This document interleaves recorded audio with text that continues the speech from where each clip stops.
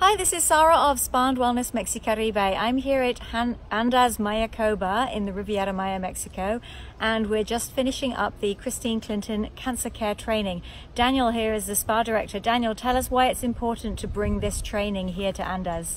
Yes, well, first of all, hello everyone out there, and um, definitely wellness is for everyone, and uh, we need to be more inclusive. I think is very important. Excellent, thanks, Daniel. Joe, how did the training go? Oh, the training went fantastic. We've got such a great team here. We've got therapists from the Andaz. We've got th- therapists from uh, Playa del Carmen who are here, and also uh, therapists from Costa Rica.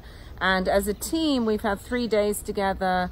We've worked on about nine different clients who have gone through cancer treatment, and all of them have left feeling amazing. And the therapists have said that they feel very confident now. So, really happy about that. Excellent, wonderful training session. Thanks very much. Bye from Andaz Mayakoba. Bye.